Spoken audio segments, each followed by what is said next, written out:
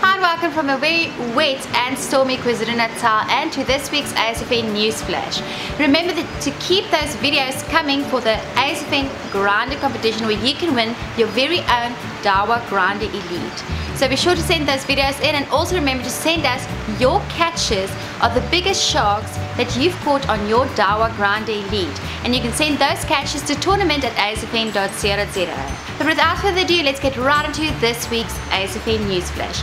We kickstart this week's Newsflash with a catch from the Western Cape. Unfortunately, the angler didn't include his name, caught this beautiful smooth hound of 91 centimeters and this spear nose.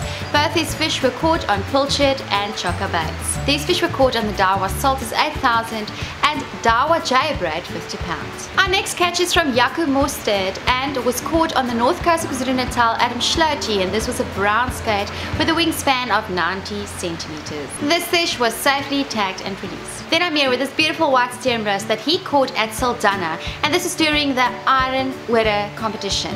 This was caught on Dawa Daiwa SR30 with J-Braid backing. Then Magnus caught these two blue rays on the garden route on pilchard or sardine baits. Muhammad managed to get this carbon paddle tail at Port St. John's on the outgoing tide. Outcome in turn got a grunter on cracker shrimp also at Port St. John's and also on the outgoing tide. Then Zahib droned out a live blacktail 300 meters off Felita and caught this beautiful blackfin shark. This shark measured in 122 centimeters. Then some catches from Nikki, a stumpy of 4 kilos, a blue ray of 13 kilos, a brown skate of 15 kilos and a grey shark of 9 kilos. Shannon got this sand shark of plus minus 20 kilograms.